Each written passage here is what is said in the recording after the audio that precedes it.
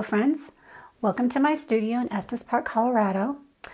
I want to tell you a little bit about my amazing experience last week. I'm a little bit late in posting because I was immersed in four days of fun tangling with amazing artists from all over the world, Zentangle CZTs, Certified Zentangle teachers. I taught there, but I also learned several, I took all the classes and learned several new techniques, learned to use some new fun tools, uh, new supplies, and I can't wait to show you uh, some of the things that we did. If you go to my student Facebook page, you'll see all of the projects that we did. I'm posting them one at a time, but I, I want to take that with me and let it mull a bit, ruminate, and come up with some other spin-off creative ideas for you for the YouTubes that I'm doing. Today we're going to do kind of a simple project that's sticking with our spring theme. Tomorrow is the 1st of May and we concentrate on flowers and fertility and new life. And this pattern that I'm doing kind of reminds me of a cluster of poppies. And it's a two-part series. On today we're going to just learn to tangle and shade. And the next time, bring what you've done and I will show you how I will color my poppies. Um, I'm calling this, it's actually a, what we refer to in the Zentangle world as a fragment and a reticula.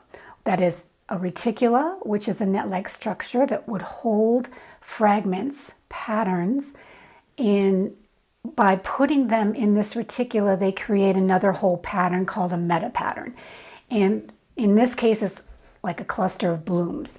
So I'm calling it Pangea pepper blooms because Pangea is the reticula that we're using to put the pepper-like tangle inside to create this new look. So without further ado, let's get on our Pangea pepper blooms. So for this part one of our little series here. I'm just using an, a micron pen. I've got both an 01 and a PN, the plastic nib pen, because we will be filling in some larger areas. And then I've got my tortillon and a soft graphite pencil and always, always, always my kneaded eraser. So the Zendala is what I'm starting with today, but any anything will work, even if you just draw um, a circle with a compass on a white piece of paper, that'd be fine. I am going to divide my, my this area and I'm using a two and a half inch template circle that I cut out myself. So I'm just going to lay that on there and draw sort of like what we consider a string. I just want to know where our Pangea is going to be clustered and this will help us define that. So where we're going today is here. This is, this is our project. You saw it in the intro. And what it is, is just basically Pangea as the reticula. Then we're filling in that reticula with the pattern, sort of pepper. And then I just added a little Sampson leaf here for compositional interest. And then did a little bit of um, doodah. These are all uh, Zentangle patterns, by the way, from our headquarters. So that's where we're heading. Let me just show you Pangea. Here is Pangea in Mirth. This is a sample I did a while ago. It's definitely was all the rage when it first came out. And how beautiful is that? But also, it is so much fun to make these little irregular shapes. You don't have to think about much. Uh, it's got a lot of Zen flow to it. So we are going to do something similar. This is what inspired me, but we're not going to do our mirth quite on the Pangea, rather something more like pepper. So let's just get started with our 01 micron pen. So Pangea goes like this, is nothing more than an irregular shape, kind of like an amoeba. Then the next step is to make another one, but it's going to be building off this first one with an aura line. So I'm going to aura and then take off and always make my Pangea a little bit almost circular. if you can. That one got a little elongated, but that's okay.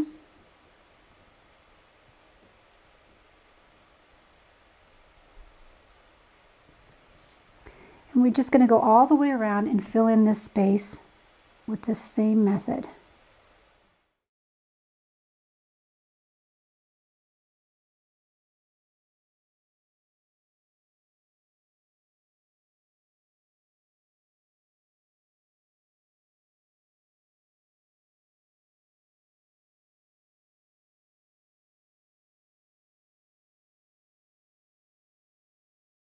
Okay, now I'm going to do a little smiley face in the middle, just like we do with mirth. And then I'm going to do another one and kind of cap that off with a dome shape. And I'm going to put little tiny tipple or perfs in there. Same thing here.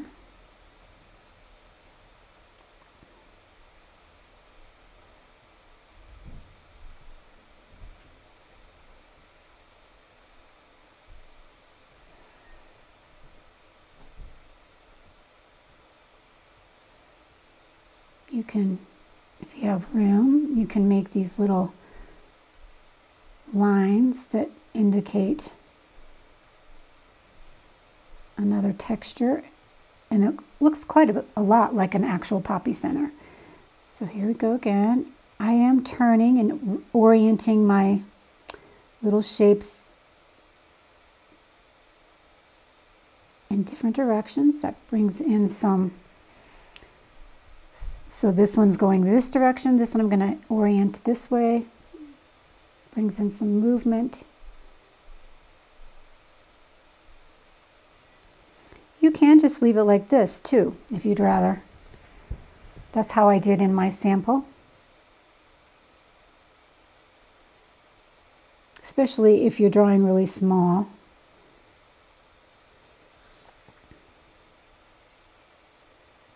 going to go ahead and do it. I kind of like that this little pattern, this line work in that center is sort of going to be mimicking the pepper pattern that we're going to do.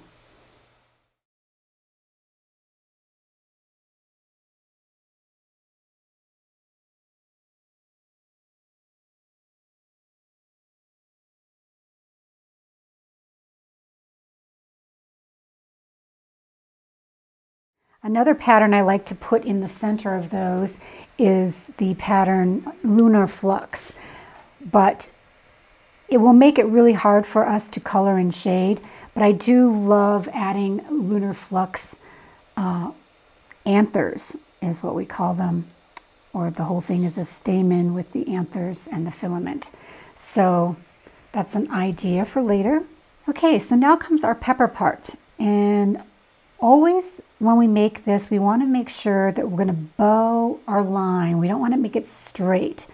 By bowing it, we're giving our little flower some movement, some undulation, some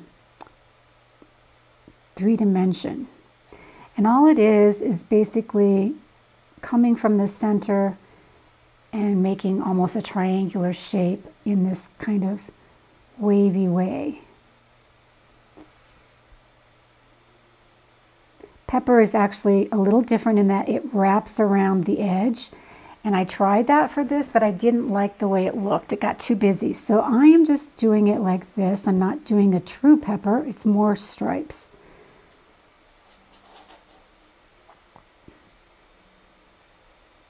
And then we're going to get out our PN pen and fill in each stripe.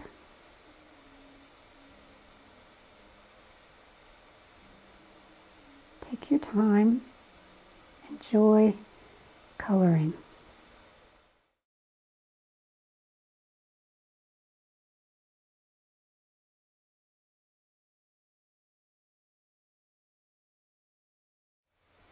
So see how this is curved? You imagine the leaf comes up and then it undulates down.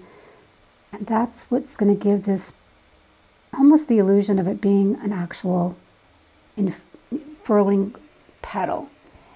I'm going to do the same thing for all of them.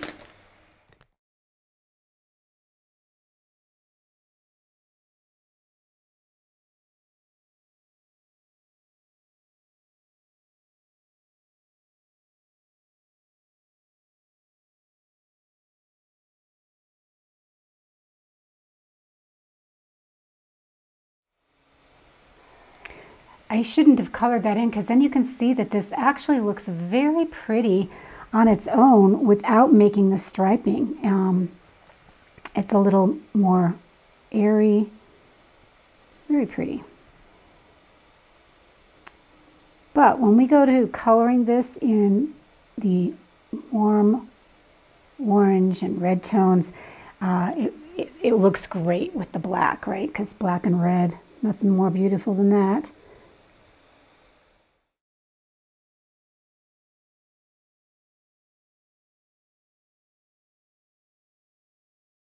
So rather than filling this whole area in, this negative space where the Pangea line work is, uh, I thought it was kind of a pretty idea to make some more perfs because they also reiterate those little circles, those little perfs up here in the center.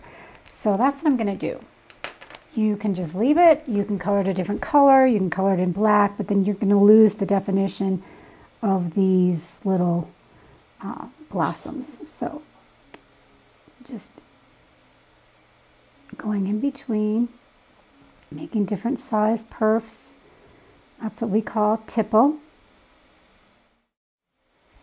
Before I can continue doing that, I am going to put, with a pencil, I'm going to put a line down here where I know I want my Sampson leaf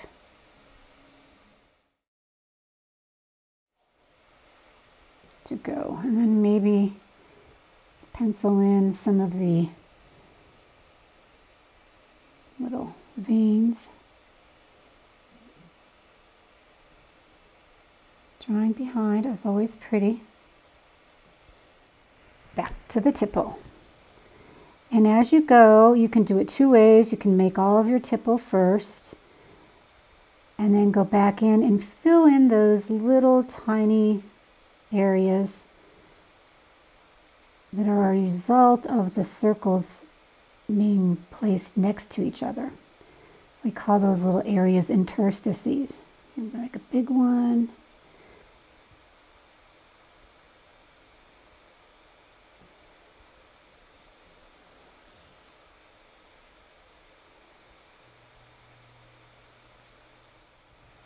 I'm going to stop because we're going to be putting my Sampson uh, in there. can always backfill with these tipple. That's what's beautiful about them.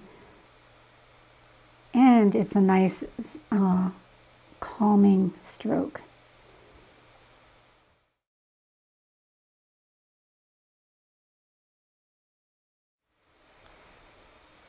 This is actually almost a big enough project for an actual class.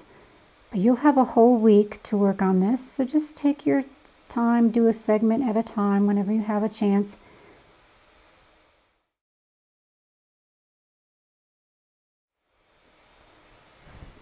Oh wait, that would have been part of my leaf. So I'm going to stop there on that one. Actually, I think it'd be a good time now to go ahead and ink in my Sampson. So I did a whole tutorial on Sampson and I'm just going to go ahead and do it quickly here. If you need to watch it, go back to Sampson. I'll link it in the description below. It's one of my favorite tangles because it's so very botanical.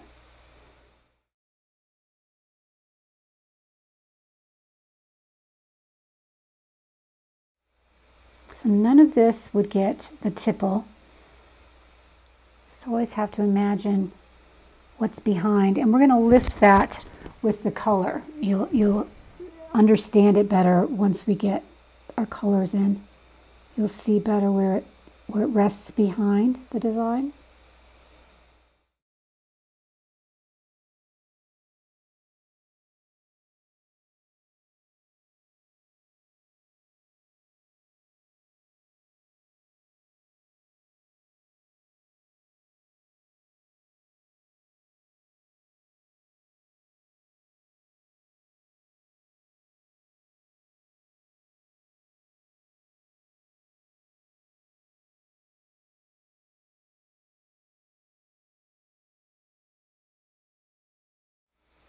You also want to fill in those little areas black around your perfs here in the centers.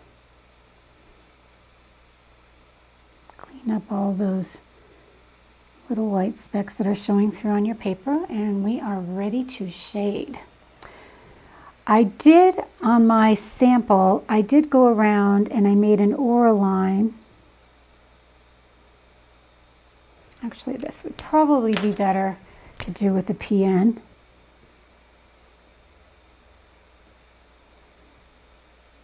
And you can play around with this frame. I know some of you out there do those really fun any oaken type frames.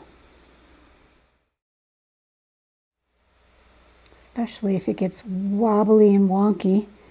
You can do some thick and thin, some little white specks in between. And then I also did the same thing around here. I think it just gives it a nice frame, but you can leave it if you if you'd rather not have an aurid center. It's your own design decision.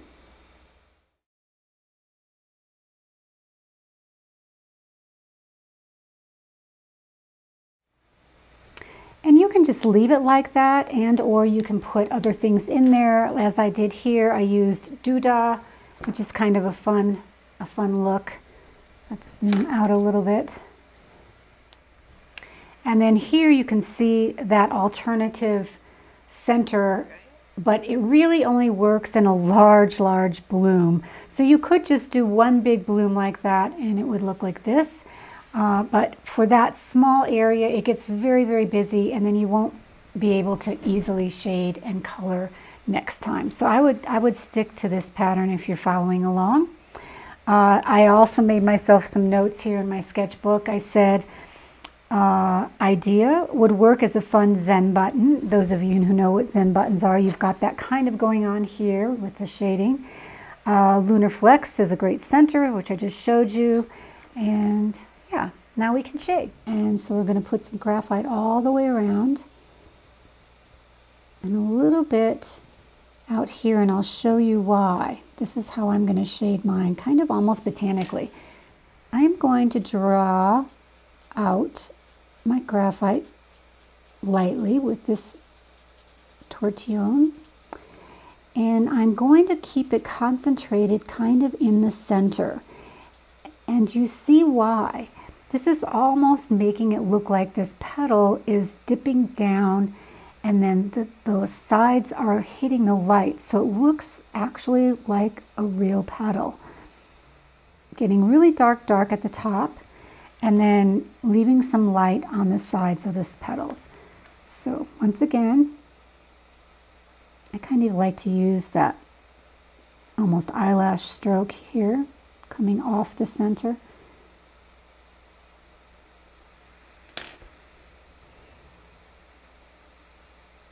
And I'm barely, it's like a whisper of a touch. I am not pushing hard at all on my tortillon.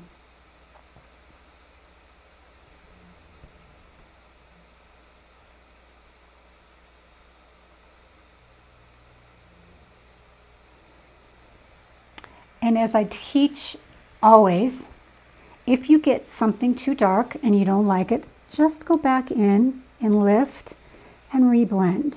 Just keep lifting and reblending until you get the exact amount of graphite that you want.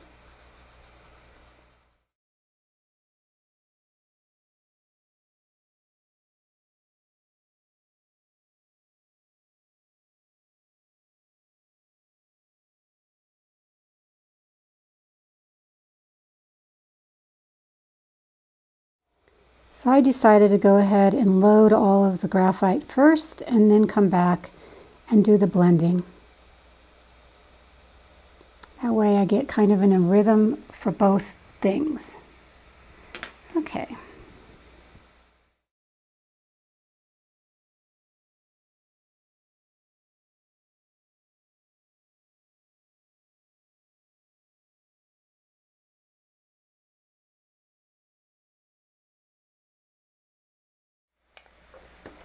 So now we're going to do Sampson, but I'm not going to explain it to you. I'd encourage you to go back and look at my tutorial on Sampson. I'm just going to quickly shade it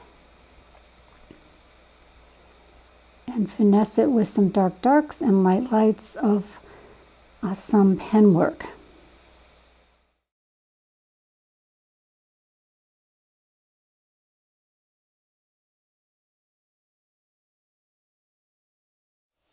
So I'm just going to now go back in. That's pretty much all the shading. I'm not going to shade this as a Zen button. I'm not going to shade it at all.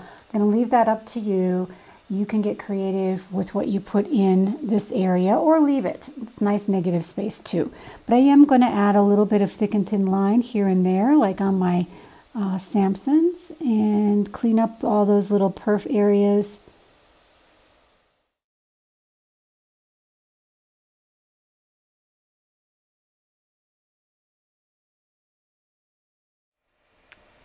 Okay, I'm going to call that done and I will see you next time when we will color with some color layering. It's um, a technique we use in Botanica Illustration with grisaille. This is our grisaille, this is our underpainting and we will, I will show you how I color layer on top of that to get kind of a realistic look. So thanks for joining me today and have fun take your time this week and just do a segment at a time. I know this wasn't a 20 minute lunchtime tangle as I used to do, but you'll have a nice finished project, I think. Thanks for joining me. See you next time. That's it for today's tangle. Thanks for joining me. If you like these lunchtime tutorials, please give them a thumbs up and subscribe to my YouTube channel. I also invite you to check out my website for classes that I have scheduled or to purchase my Tangle tags for your favorite step outs. That's Botangle.net. I'm leaving you with some other links too. Zentangle.com, where you can learn more about the Zentangle method from its founders, Rick Roberts and Maria Thomas. You can also visit their store there for a multitude of Zentangle paper tiles, tools, books, and kits. TanglePatterns.com is that site I talk about where you can explore hundreds of tangle patterns, read about them, and get the step out, which is basically the deconstruction of the pattern. And finally, if you'd like to share your beautiful results with me and my student community, please join Annie's Botangle Alumni Facebook page. We're a private group where we inspire each other with our work and offer tips and useful information about art and Zentangle.